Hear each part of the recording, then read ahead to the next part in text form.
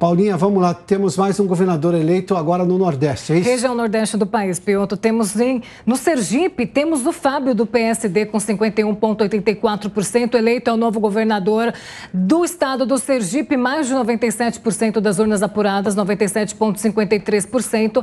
E quem não se elege é Rogério do PT com 48,16%, Pioto.